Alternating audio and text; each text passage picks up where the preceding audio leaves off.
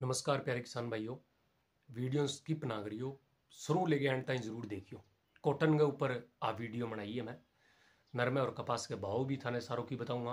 पहला, भाव आने का अनुमान है कोनी, बिंग ऊपर भी आप चर्चा करांगा कि कुछ उत्पादन रहे हुए अब तक कितो और उत्पादन हो सके लगभग टोटल बिंगी भी बातें करांगा। तो अपने चैनल पर जो भी भाई पहली बार विज़िट कर रहे हैं, मंडी के भाव यूट्यूब चैनल पर तो वो चैनल सब्सक्राइब कर और वीडियो ने एक प्यारो सो लाइक ज़रूर कर दो किसान भाइयों। तो कॉटन के उत्पादन में पाँच पॉइंट तीस फ़ीसदी की बढ़ोतरी हुई है। लगभग तीन सौ नौ पॉइंट सत्तर लाख गांठ की उम्मीद और है बताई तो किसान भाइयों, नई दिल्ली 2024 उद्योग में पहली अक्टूबर 2023 से शुरू चालू फ़सल सीज़न 2023-24 में कॉटन के उत्पादन अनुमान पाँच पॉइंट तीस फ़ीसदी की बढ़ोतरी कर कुल तीन पॉइंट नौ तीन सौ नौ पॉइंट सत्तर लाख गांठ के उत्पादन का अनुमान जारी किया गया है। तो इन अनुमान ने देखता भावान की संभावना है। क्यों? क्योंकि इससे पहले के अनुमान में दो लाख गांठ का कॉटन का उत्पादन होने का अनुमान था।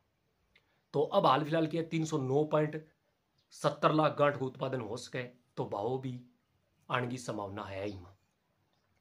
बात करा फ़सल सीज़न 2023-24 में पंजाब में तीन पॉइंट पचास लाख गांठ और हरियाणा में, तेरह पॉइंट पचास लाख गांठ, राजस्थान में पंद्रह लाख गांठ और कुल मिला के छियालीस लाख गांठ होने का अनुमान है टोटल अब तक।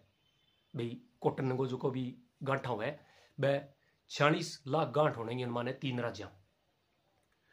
तो सीआई के अनुसार मध्य भारत के राज्यों, गुजरात में चालू फ़सल सीज़न, सतासी लाख गांठ, महाराष्ट्र में अस्सी लाख गांठ, मध्य प्रदेश में अठारह लाख गांठों को मिलाकर कुल एक सौ पचासी लाख गांठ का उत्पादन का अनुमान है। दक्षिण भारत के राज्यों में तेलंगाना में चालू फ़सल सीज़न में चौंतीस लाख गांठ, आंध्र प्रदेश में बारह पॉइंट पचास लाख गांठ, कर्नाटक में बीस लाख गांठ, तमिलनाडु में छह पॉइंट पचास लाख गांठ, कुल मिला के तिहत्तर लाख गांठ के कॉटन में उत्पादन का अनुमान है मतलब लगभग। तो उड़ीसा में चालू खरीब में तीन पॉइंट सत्तर लाख गांठ एवं अन्य राज्यों में दो लाख गांठ के उत्पादन का अनुमान लगाया जा रहा है। सीआई के अनुसार अक्टूबर 2023 को कॉटन का बकाया स्टॉक अट्ठाईस पॉइंट नब्बे लाख गांठ बचा हुआ था, जबकि 309.70 लाख गांठ के उत्पादन का अनुमान है अभी तक। चालू सीज़न में करीब 20.40 लाख गांठ का आयात होने की उम्मीद है। तो ऐसे में कुल उत्पादन तीन सौ उनसठ लाख गांठ का मतलब आयात होने की संभावना है अभी तक। तो अभी उत्पादन आयात होना ज़्यादा है और आयात हो कम है। तो इनकी संभावना यहाँ बना अभी कॉटन के भाव में तेज़ी आ सके। लगभग। तो अभी थाने में नरमे और कपास का ताज़ा भाव भी बता दूँ आज का कि कुछ रहे है किसी किसी मंडियाँ।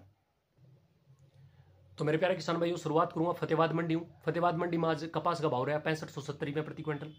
फतेहबाद मंडी में नरमे का भाव रहा छः हज़ार लेंगे छः हज़ार नौ सौ रुपये प्रति क्विंटल। बरवाड़ा मंडी में नरमे का रेट रहा छः हज़ार नौ सौ एक रुपये प्रति क्विंटल। भट्टू मंडी में नरमा का रेट रहा छः हज़ार नौ सौ चालीस रुपये प्रति क्विंटल। एलनाबाद मंडी में कपास का रेट रहा, बहत्तर सौ रुपये प्रति क्विंटल। सिरसा मंडी में किसान भाइयों, नरमे का रेट रहा, पचपन सौ लेगे सात हज़ार अस्सी रुपये प्रति क्विंटल। सिरसा मंडी में कपास का रेट रहा, छियासठ सौ रुपये लेगे अड़सठ सौ अस्सी रुपये प्रति क्विंटल। आदमपुर मंडी में नरमा का रेट रहा, बहत्तर सौ एक रुपये प्रति क्विंटल। संगरिया मंडी में नरमा का रेट रहा, चौवन सौ रुपये लेगे अड़सठ सौ पच्चीस रुपये प्रति क्विंटल। इंगन घाट मंडी में कपास का रेट रहा, सतहत्तर सौ रुपये प्रति क्विंटल। शिवानी मंडी में नरमा का रेट रहा छः हज़ार नौ सौ रुपये प्रति क्विंटल, ऊपर में बिकी है। शिवानी मंडी में कपास का रेट रहा सात हज़ार रुपये प्रति क्विंटल। तो प्यारे किसान भाइयों यहाँ नरमे और कपास का ताज़ा भाव और नरमे और कपास की ताज़ा रिपोर्ट। तो जितना भी भाई देखने लग रहा है भाव हाथ जोड़ की रिक्वेस्ट है, वीडियो लाइक और शेयर ज़रूर करोगा। नमस्कार, जय हिंद, जय जवान, जय किसान साथियों।